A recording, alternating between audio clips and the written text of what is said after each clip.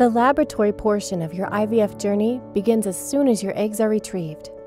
The fluid containing the eggs is gently suctioned into test tubes by the doctor. It is brought immediately into our lab and maintained in a warm, humidified environment. The embryologist searches through the fluid to find the eggs, which are then washed and placed into a special solution called culture media.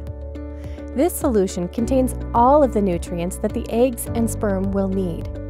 Once the eggs are ready, preparation of the sperm sample for insemination begins.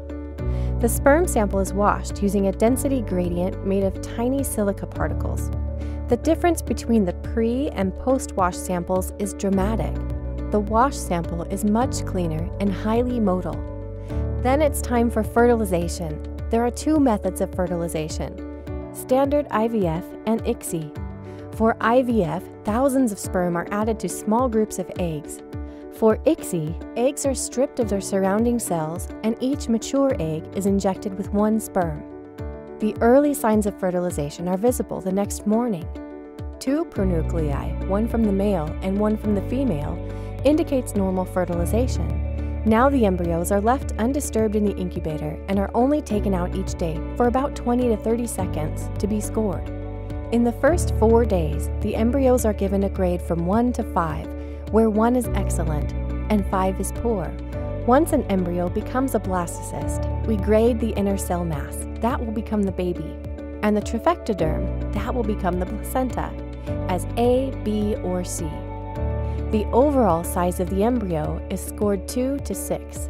It is perfectly normal for a group of embryos to have a variety of grades. On day 4, we will call you with an update. If we are planning a fresh embryo transfer, you will be given a transfer time for the next day and some general instructions about being properly prepared for your transfer, such as having a full bladder.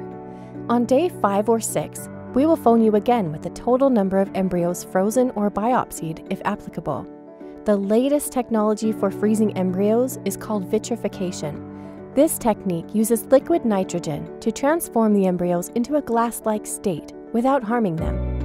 If you are having a fresh embryo transfer, the embryologist will choose the best embryos for the transfer.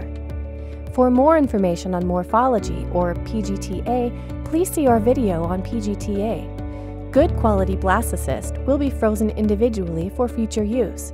We wish you the best of luck for a positive pregnancy test.